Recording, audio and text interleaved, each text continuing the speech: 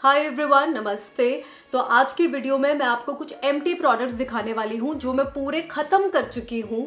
तो ये मैं आपको बताऊँगी कि कैसे है, अच्छे हैं या बुरे हैं, इनको मैं दोबारा ट्राई करना चाहूँगी या नहीं खरीदूँगी। तो आज की वीडियो में मैं आपको स्किन केयर और हेयर केयर प्रोडक्ट्स दिखाऊँगी और पार्ट टू में मेकअप प्रोडक्ट्स जो खाली हो चुके हैं। हाँ मैं देख रही हूँ, बाप रे बाप, इतना सारा कचरा घर में पड़ा हुआ था तो चलो वीडियो के बहाने वीडियो भी हो जाती है और फिर आपको इन्फॉर्मेशन भी मिल जाती है कचरा भी साफ़ हो जाएगा। ठीक है तो वो पार्ट टू में दिखाऊँगी, क्योंकि पेशेंस लेवल देखो सबका खत्म होता जा रहा है। इतनी लंबी वीडियो लोग देख नहीं पाते बट देखा करो शॉर्ट्स कम देखा करो लंबी वीडियो लॉन्ग फॉर्मेट वाली वीडियोस ज़्यादा देखा अच्छा तो सबसे पहले ये ऑर्डिनरी के सीरम्स मुझे दिखे हैं सामने पड़े थे तो मैंने दोनों ही उठा लिए। तो इनका नया सिनेमाइट मैंने यूज़ करा हुआ है और अभी मैं मिनिमलिस्ट का कर रही हूँ तो मुझे दोनों में से मिनिमलिस्ट ज़्यादा बेटर लगा। ये भी अच्छा था ऑर्डिनरी का पर ये मेरे ख्याल से ऑल स्किन टाइप्स के लिए, अभी जो मिनिमलिस्ट वाले ना, शायद ऑयली स्किन वालों के लिए भी लेकर आए हैं एक नया सिनेमाइड सीरम तो वो मुझे इससे ज़्यादा सूट कर रहा है तो इसको मैं दोबारा नहीं खरीदूँगी, इसलिए मैंने मिनिमलिस्ट का खरीद लिया है। और फिर है इसके बाद इनका ये salicylic acid two percent serum तो ये काफ़ी अच्छा था, इनका जो मैंने मिनिमलिस्ट का यूज़ करा था, मुझे उससे बेटर लगा। तो हाँ अगर मुझे इसकी ज़रूरत पड़ेगी तो मैं सैलिसालिक एसिड सीरम ऑर्डिनरी का खरीदूँगी। फिर उसके बाद कुछ ये मिनिमलिस्ट के सीरम पड़े हुए हैं। इनका ये रेटिनॉल सीरम है 0.3 परसेंट और अभी फ़िलहाल मैं यूज़ कर रही हूँ दी ऑर्डिनरी का रेटिनॉल तो मुझे मिनिमलिस्ट और ऑर्डिनरी में मिनिमलिस्ट का रेटिनॉल ज़्यादा अच्छा लगा। तो हाँ रेटिनॉल मुझे सीरम खरीदना होगा तो मैं मिनिमलिस्ट का सीरम खरीदूँगी। और फिर है इसके बाद हाँ इसका ये सैलिसिलिक एसिड मैंने इनका कंपेरिजन वीडियो भी करा था, आपको देखना होगा ना तो देख लेना। मेरे चैनल पर होगा दोनों का मिनिमलिस्ट और ऑर्डिनरी दोनों के बारे में बताया हुआ है। फिर है यहाँ पे ये डर्मा वाइब हाइड्रा क्लेंजर, ये मुझे पीआर में आया था। अच्छा क्लेंजर है क्योंकि इसमें ना कोई एक्टिव इंग्रेडिएंट्स नहीं है। इसमें ओट्स है वाइटामिन ई e है, जो हर स्किन टाइप वालों को सूट करेगा और इसकी ये एक खासियत है कि आप कोई भी इसके ऊपर सीरम लगाएँगे glycolic acid salicylic acid retinol लगाएँगे तो कुछ भी रिएक्ट नहीं करेगा। अभी ऐसा हो जाता है ना कि आप किसी सैलिसलिक एसिड या ग्लाइकोलिक एसिड के ऊपर रेटिनॉल नहीं लगा सकते हैं। तो ये मैंने पूरा ख़त्म कर दिया है। अभी देखो, मुझे ये पीआर में आता है ना तो मैं इसको यूज़ कर लूँगी। अच्छा क्लेंजर है ये। पर शायद मैं इसको नहीं खरीदूँगी दोबारा, क्योंकि आठ सौ, नौ सौ रुपये का आता है। फिर मन करता है कि चलो कुछ उसमें और भी एक्टिव इंग्रेडिएंट्स मिल जाए और फ़ायदा हो जाए। मनुष्य की प्रवृत्ति ही ऐसी होती है, खैर, कोई बात नहीं। अभी ये मिनिमलिस्ट का पील जो आता है A H A P H A B H A peel तो ये मैंने थोड़ा यूज़ करा था, तीन चार बारी यूज़ करा, आधा ये बचा भी हुआ है एक्सपायर हो गया था, और अभी फ़िलहाल मेरे पास ऑर्डिनरी का भी पील पड़ा हुआ है तो मुझे दोनों में से ऑर्डिनरी ज़्यादा बेटर लगा तो ये मिनिमलिस्ट का पील मैं दोबारा नहीं खरीदूँगी। फिर है यहाँ पे ये acne U V S P F fifty sunscreen पूरा ख़त्म हो चुका है, ये मैंने रिकमेंडेशन पे लिया था, मैंने इंस्टा पे जो वो डर्माटोलॉजिस्ट कॉस्मेटोलॉजिस्ट आते हैं, उन्होंने रिकमेंड करा था कि इससे एक्ने भी खत्म होंगे बट मुझे ऐसा कुछ दिखा नहीं। प्राइस है इसका शायद आठ सौ, साढ़े आठ सौ रुपये का सनस्क्रीन आता है, और इस टाइप के सनस्क्रीन जैसे ये मैट लुक देते हैं सॉफ्ट मैट लुक पाँच सौ रुपये में भी आते हैं, साढ़े पाँच सौ रुपये में भी आते हैं। तो मैं ये साढ़े आठ सौ का क्यों खरीदूँगी? तो इसलिए मैं इसे दोबारा नहीं खरीदूँगी। फिर है यहाँ पे ये डॉक्टर शेज का ceramide and vitamin C sunscreen तो ये मुझे काफ़ी अच्छा लगा, जैसा इस पर है सेरेमाइड और वाइटामिन सी तो मेरे को ना स्किन में एक ग्लो दिखा था स्किन बहुत हेल्दी लगती थी। तो हाँ शायद इसे मैं दोबारा खरीद सकती हूँ, पर इसमें एक ऑयली स्किन के लिए भी आता है, वो भी मैं ट्राई कर सकती हूँ, पर घर पे इतने सारे मेरे सनस्क्रीन पड़े हुए हैं तो अभी पता नहीं। पर हाँ ये काफ़ी अच्छा प्रोडक्ट है, आप इसको ट्राई कर सकते हो। फिर यहाँ पे है ये वैसलिन का ग्लूटा हाया ये शायद इनका न्यू लॉन्च है, कुछ महीने पहले ही आया था, कुछ साल हो गए हैं बट नया है मार्केट में। लोग अब इसे ज़्यादा खरीद रहे हैं तो ये भी मैंने पूरा ऑलमोस्ट हाँ ख़त्म कर ही लिया है। यूजुअली मैं इसे रात के टाइम पर ही लगाती हूँ।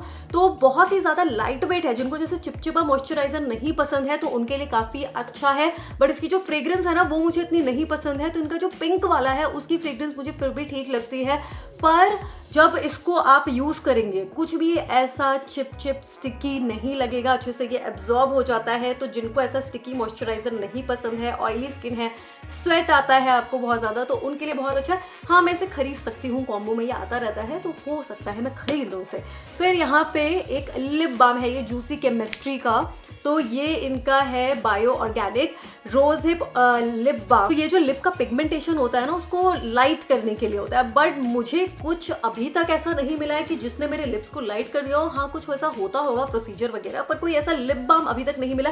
हाँ एक मिनिमलिस्ट का है जो मैं यूज़ करी हूँ। कभी कभी ये लगाने के बाद मुझे ऐसा लगता है कि कुछ असर हुआ है, पर ये सब बहुत सारे लिप बाम ट्राई करे, किसी से मेरे लिप्स नहीं होते लाइट मतलब बचपन से ही डार्क है।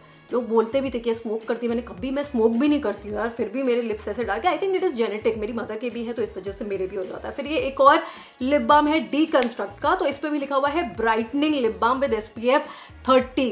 तो ब्राइटनिंग तो मैं नहीं बोलूँगी, मेरी कोई पिगमेंटेशन इससे ख़त्म नहीं हुई और इसको मैं दोबारा नहीं खरीदूँगी क्योंकि इससे बस जो चाप लिप्स है ना, वो थोड़े से सॉफ्ट हो जाते हैं हील हो जाते हैं बट ऐसा कोई ब्राइटनिंग इफ़ेक्ट मुझे नहीं दिखा और लिप्स पे ना एक वाइट कास्ट आ जाता है बहुत गंदा। तो वो दिन में तो आप लगा ही नहीं सकते हो। उनके लिए ठीक है, जो स्पोर्ट्स वगैरह में या धूप में बहुत ज़्यादा क्योंकि ऐसा वाइट वो क्रिकेटर्स नहीं लगा लेते, ऐसा वाइट वाइट तो वैसा हो जाता है लिप्स पे। तो नहीं फिर इसके बाद है ये मेरा बड़ा ही फेवरेट ये तो मैं इतना ज़्यादा रिकमेंड करती हूँ। मतलब खरीद लो आप इसे। अगर आपको बॉडी एक्ने है डॉक्टर शेड्स का tea tree and lactic acid body lotion पूरा ये मैं ख़त्म कर चुकी हूँ और जब मैं इसे लगा रही थी ना मतलब ऐसा तो नहीं कि आपको दो दिन में रिज़ल्ट दिख जाएँगे but after 15 20 days you'll see you'll notice the difference कि मेरे ना जैसे यहाँ पर बहुत सारे एक्ने थे तो वो कम हो गए और अभी तो देखो फिर से आ गए हैं थोड़े थोड़े आ गए हैं और काफ़ी हद तक कम हुए।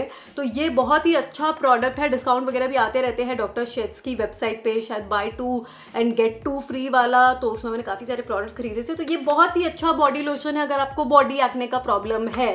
Tea tree and lactic acid body lotion फिर ना मैंने कुछ महीने पहले ये थ्राइव का हेयर सीरम ट्राई करा था। ये हेयर फॉल के लिए होता है, ये भी पूरा खत्म हो चुका है और मैंने ना दूसरा खरीद भी लिया है। मतलब ये एक्चुअल में अच्छा है, क्योंकि इससे हेयर फॉल काफ़ी हद तक रुकता है। हेयर ग्रोथ की मैं कैसे मतलब बताऊँ? मैंने जो अपना हेयर कट करवा लिया था ना, उसके बाद मैंने खरीदा था नवंबर में। तो बाल मेरे इतने थे तो इतने बड़े तो हुए हैं। लेंथ भी हुई है बड़ी और हेयर फॉल भी इससे कम हुआ है।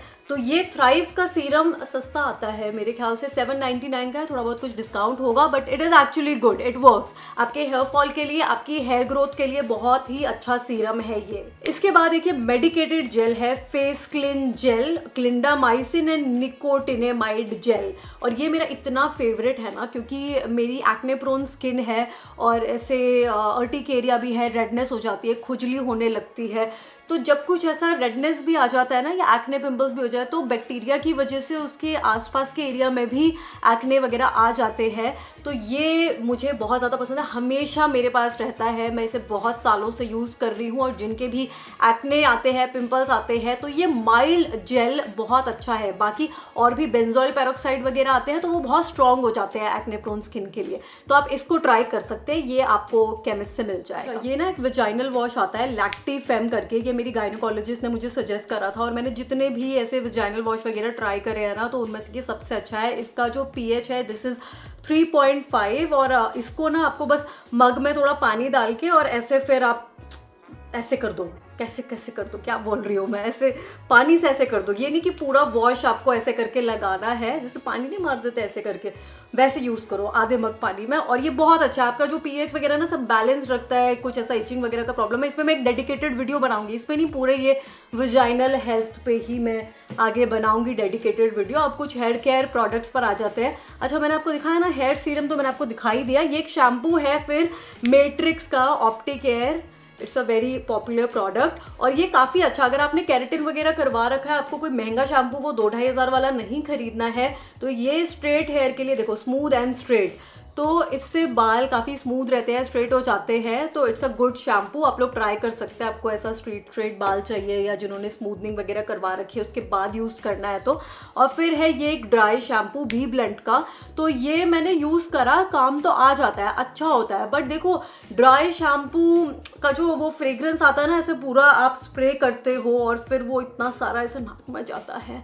तो वो एक तो मुझे नहीं पसंद है तो मैं अब क्या करती हूँ कि ये जब ख़त्म हुआ ना, मेरे पास ड्राई शैम्पू नहीं था तो मैंने पाउडर यूज़ करा। पाउडर भी जो एंटी फंगल पाउडर आता है एब्जॉर्ब तो एब्जॉर्ब मैं लगा लेती हूँ, थोड़ा सा ऐसे ऐसे ऐसे रब कर देती हूँ वाइट वाइट ना हट जाता है थोड़ी देर में, क्योंकि स्कैल्प इतना ऑयली हो जाता है ना एक टाइम पर, क्योंकि मेरा ऑयली स्किन है ऑयली स्कैल्प है तो वो पूरा ऐसा डिजोल्व हो जाता है और ऑयल भी थोड़ा कम हो जाता है तो लगभग वो ड्राई शैम्पू का ही काम करता है तो इसको मैं दोबारा नहीं खरीदूँगी। और अच्छा ये शैम्पू के बारे में मैंने बताया, इसको मैं खरीद सकती हूँ, पर इसे मैं नहीं खरीदूँगी। I am not buying dry shampoo ever again हाँ पाउडर काम आ जाता है, कुछ इमरजेंसी रही, बाहर रही मैं तो शायद मैं यूज़ कर लूँ बट घर पर हूँ तो पाउडर यूज़ करूँ ना एंटी फंगल पाउडर लगा लो। फिर ये हेयर सीरम है लॉरियल का, और ये शायद मेरी तीसरी या चौथी बॉटल होगी, इसको मैं बहुत सालों से यूज़ कर रही हूँ, शायद 2020 में मैंने पहली बार इसको यूज़ करा था।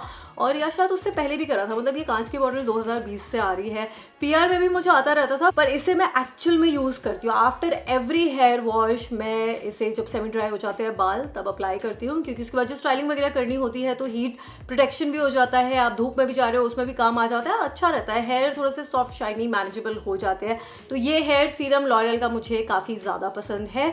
दोबारा हाँ मैं इसको खरीद सकती हूँ। तो स्किन केयर हेयर केयर के जितने भी एम प्रोडक्ट्स है, वो मैंने आपको दिखा दिए हैं। ऑनेस्टली इनके बारे में भी बताया है कि कैसे है ये प्रोडक्ट और इनको दोबारा मैं खरीदूँगी या नहीं खरीदूँगी, वो भी बता दिया है।